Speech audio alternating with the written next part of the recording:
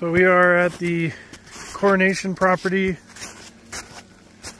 And this is where the coronation adit is over there. Struck in that outcrop which is all quartz. And uh, there's no record of this of when this was struck what they actually did here any production numbers or anything and the only sample results are from the 70s when someone found this. This is a 91 meter adit that goes back. Uh, there's a cross cut.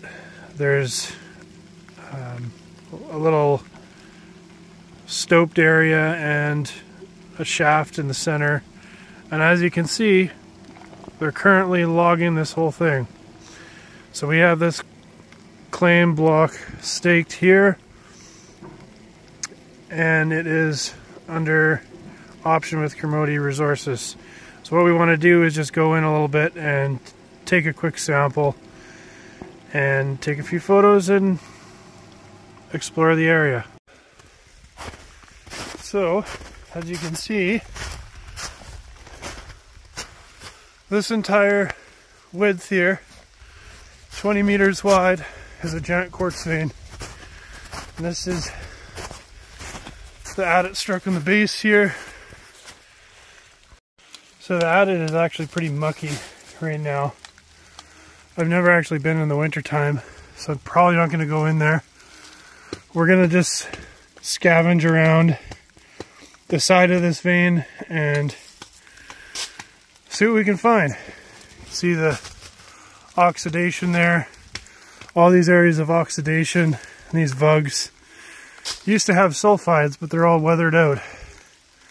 And as you can see, it is all completely quartz. This black is just algae covering it. So we're gonna see if we can find a sample to take out here. And then we're gonna go above a bit. Try not to get in the way of the loggers. So we got a few samples here. You can see quartz with pyrite all throughout. This is from the right side of the adit. Okay, we're going in just a few meters to get a sample.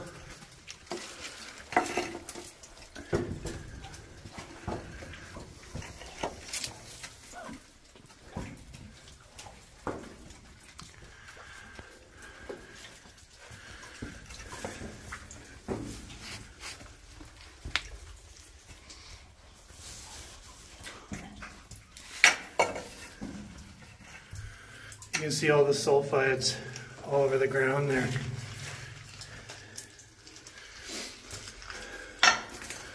If we maybe get a sample from right here.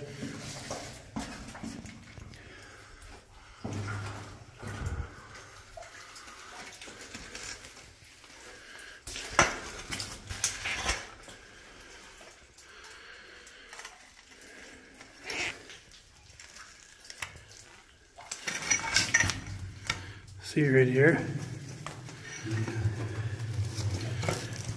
You got what looks like mica, little molybdenite, and pyrite. So let's try and get one from here. So you can see what I mean the sulfides here. We've got some samples in here with molybdenite on them. So this piece came out of right here. We're gonna take a chunk out of this.